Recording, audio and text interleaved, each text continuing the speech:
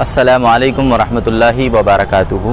आज जनाब साजिद भाई के जन्मदिन के मौके पर और साजिद भाई की तरफ़ से हम लोग आज गवर्नमेंट हॉस्पिटल गुलबर्गे को आए और यहाँ पर जितने मरीज़ हैं, उनकी इयादत करते हुए जनाब साजिद भाई की जानब से तमाम मरीज़ों को फ़्रूट्स तकसीम किया गया। ये बहुत अच्छा काम है, हम सबको पसंद आया।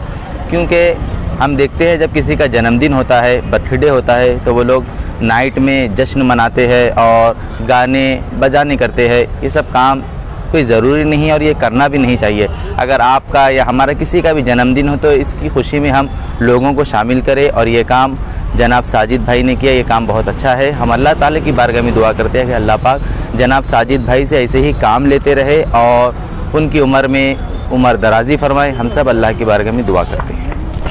अस्सलाम वालेकुम रहमतुल्लाहि वरकत आज गवर्नमेंट हॉस्पिटल में जनाब साजिद गुत्तेदार साहब के जन्मदिन के मौके पर आज गवर्नमेंट हॉस्पिटल में यहाँ पर जो भी मरीज़ है, उनको यहाँ पर फ्रूट तकसीम किया गया है।